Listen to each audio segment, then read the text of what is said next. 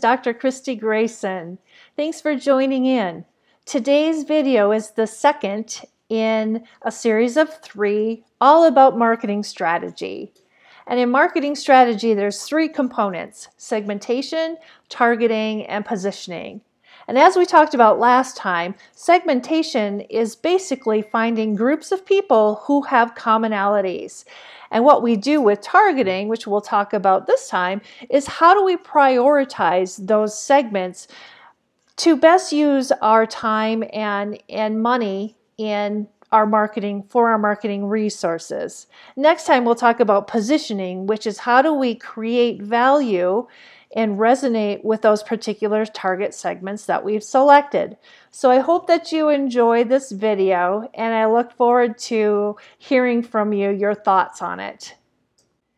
Previously, we learned that segments are basically groups of people who have something in common. And as a marketer, you are going to try to identify those groups as potential target segments for you to create your marketing mix. Now, as we know, there's only so much time and money in terms of marketing, so that you need to be able to prioritize your target audience based on your goals that you have as an organization. So, with that, Targeting is simply looking at all of the groups that you believe have an interest in your product and focusing on creating a marketing mix that is unique to each one of those target audiences. Now let's imagine that you've identified the segments for which you believe are the best fit for your product. Knowing that there isn't enough resources or time to reach everyone or all of those segments, you'll want to go through and set some criteria as to who you're going to target and prioritize those segments accordingly. So what I call this is, is the guide for segmentation effectiveness. There's five key areas that you will want to evaluate as you select a target market. First, is it measurable? Do you have the data? Is it easy to access? So when you do a campaign or you try to reach out to these people, will you be able to measure the results? Secondly, is it a substantial target market? How large is the segment? If it isn't large enough, it may not be worth your investment in creating an entire campaign. If it's too large, such as a, mass market, are you really targeting your audience? So think about those two things. Then you need to realize whether or not it, this, this market is accessible. How easily can you reach them? You may have a great campaign, but if, let's say, for example, you're looking at the wealthiest of the wealthy, where, where are you going to get that information? How are you going to reach this segment? They may not be the easiest people to reach because they are so so few, yet such a powerful segment in terms of revenue generation. Then you need to think about is it a differenti- differentiated or differentiable? If it's distinguishable from other segments, it will be meaningful. If you have two segments that are very much alike, consider, consider creating them or merging them into one segment. So you need to make sure if you're going to create separate campaigns for particular segments that it's different enough to be able to warrant spending all of that time and energy on specific strategies for each of them. And then finally, is it actionable? Do you have enough money and time and resources to reach or to develop different market strategies for various segments. So this again is a good guide for you as you evaluate your various target segments and uh, prioritize them. Imagine that you're the brand manager of Dunkin' Donuts. As you can see, there are three particular images of products that are available for Dunkin'. Now, if you are the brand manager for Dunkin' Donuts and you look at image number one, there's a very distinct segment of people who would be interested in, in getting that cup of coffee from the donut shop. You can see that there's a nice lady handing that freshly brewed, wonderfully distinct cup of coffee that you can get at the Dunkin' Donuts at the shop. And as a consumer, you might not just enjoy the cup of coffee, but maybe sitting down and relaxing and using the Wi Fi, perhaps meeting someone there for a conversation or even doing your work.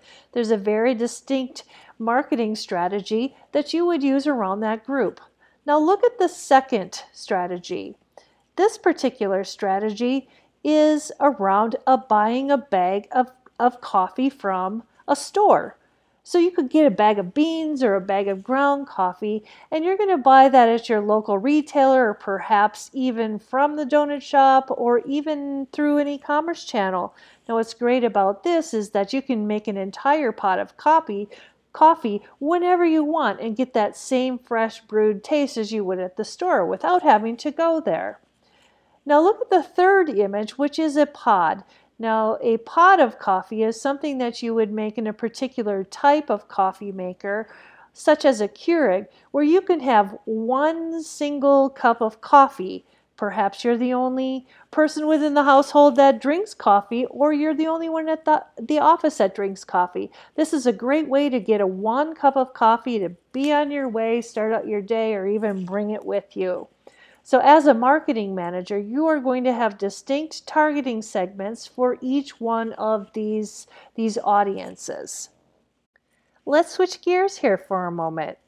Perhaps now you are the manufacturer of the coffee maker for the pods of coffee that you can buy in the grocery store and say your executive committee is looking for new ways to reach more customers or to sell more products of the pods and the coffee makers.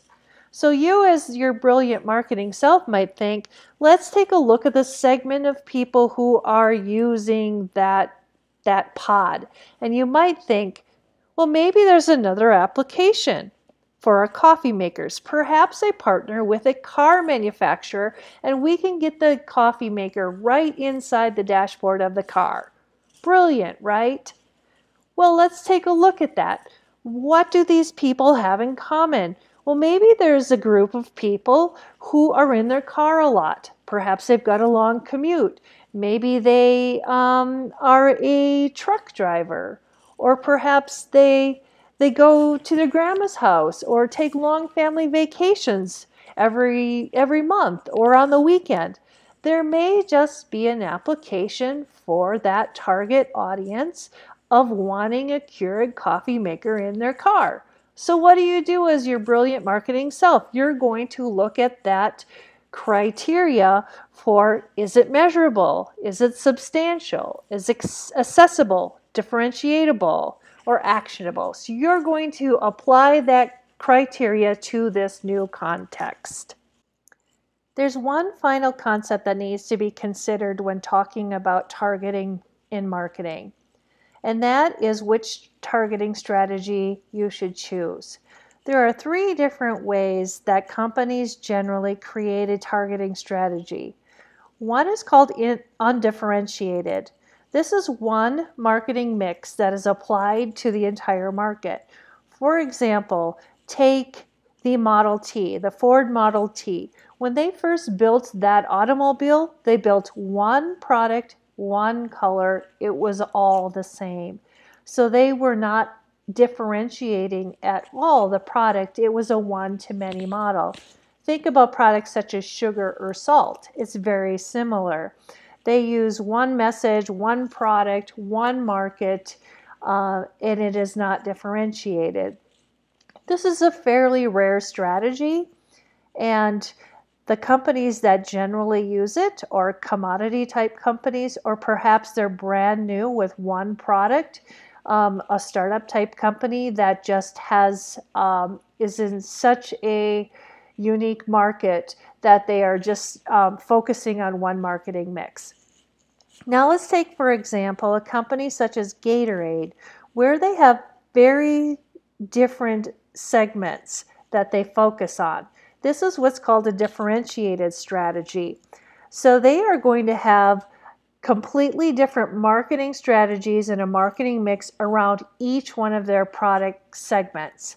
So let's say, for example, you are an athlete and you are enjoying your Gatorade. And the reason why you drink Gatorade is that, you know, maybe you're you're at a sporting event, you're playing hard, you need to rehydrate and you're looking for some electrolytes that would be a segment that Gatorade would have as, for example, an athlete. The, the typical segment that they, they brought this product to market with.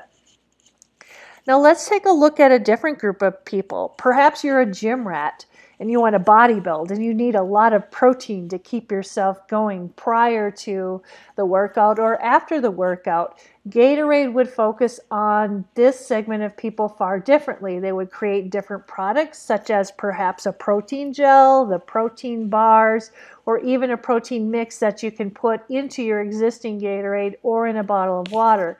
So the focus and the needs are very different for this group of segments. So that is a differentiated strategy. You have the same product that may appeal to different segments, but you are going to have separate marketing strategies around them. The final would be a concentrated strategy. And what but a concentrated strategy means is that you're going to only focus on one segment. And generally what happens is as you as a company select a segment that you're going to focus on. So let's take, for example, the wealthy people or a very wealthy segment, that 1% of people who make the most amount or, or have the greatest amount of wealth. Now, take, for example, a company such as Tesla. When they went to market with their products, they focused on that wealthy segment. So when they were bringing the Tesla to market, the auto, the electric automobile, they were focused on that luxury buyer who could afford this type of product. So in this case, they had one overall marketing mix which was applied to one particular segment. So keep in mind, not only are we looking at prioritizing and targeting segments and in a target audience, you need to think about which targeting strategy you are going to use for your products and your company. So thank you for listening to the video. Should you have any questions, feel free to reach out to me, and I'm very happy to answer any questions that you might have. And I am glad that you took the time, and I hope that you have enjoyed the video and have learned a lot about the very important topic of marketing strategy, particularly related to target marketing.